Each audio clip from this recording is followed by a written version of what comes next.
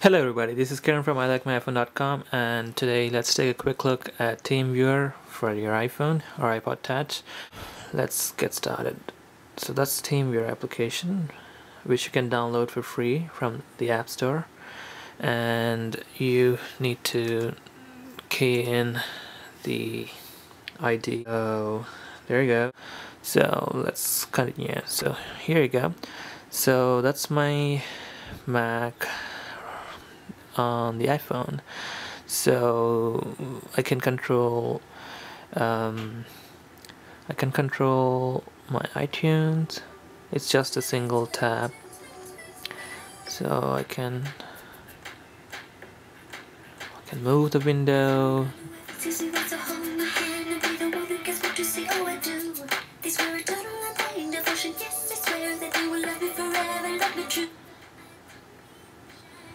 so it's I mean it because of the screen size it's it might not be the most intuitive way but if you're on the go if you're on the move and if you have to quickly troubleshoot your friend's PC or your mom's PC or your sister's PC Mac um, this is the best way to do. And moreover it's free. It's a free app so you know you have nothing to lose. So I can go I can switch to a landscape mode portrait mode might not be the best um, best way to go but if you want to quickly log into your browser and do some browser based uh, transactions which you can not do from your iPhone directly because of the limitations with Safari you can do that from your from this app. Um I can see my whole Google Chrome setup very clearly on my phone so it's a very very very uh, neat implementation. You just tap once for a single click uh, you can use the pinch gesture for zoom in and zoom out functionality. Uh, in this case I have my Facebook account open and um, can quick easily easily browse through my account. So it's it's a wonderful um, so let's let's check out National Geographic.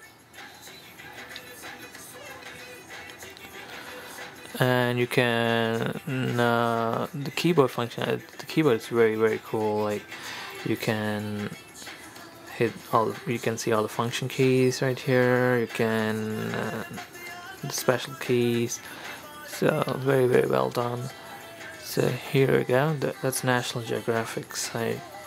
So that's that's flash right there. Um, you can see the transitions very clearly uh, which is very good. Which is not which might never be possible on an iPhone given Apple stands against Flash. So Flash is not not the best technology for I mean for Macs at least because of the frequent crashes but again it's it's for the user to decide it's not for Apple to actually make a decision on all for on our behalf you know? So well that's Apple. Uh, so there you go. So that's that's an that's an example of how a web page will look like on your tiny screen but you can see the whole thing. You can just zoom in zoom out.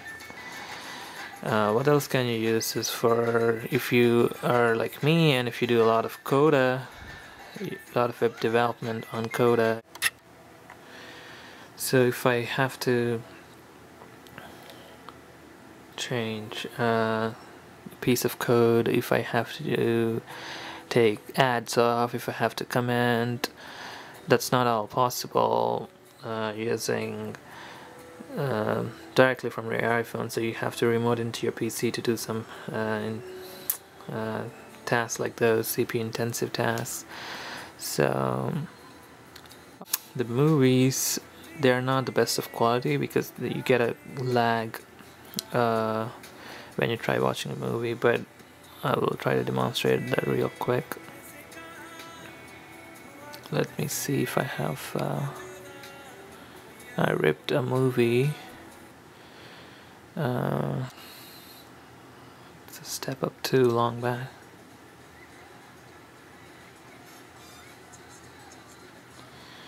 so you can expect that lag because it's it's uh, the connection is um, you know um, it's trying to save some bandwidth by so they have optimized it to not show the video properly I believe.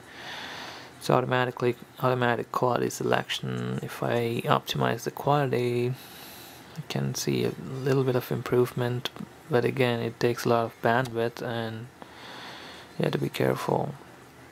Uh, if you're roaming especially that's not a very good thing to do on AT&T uh, roaming and data consumption.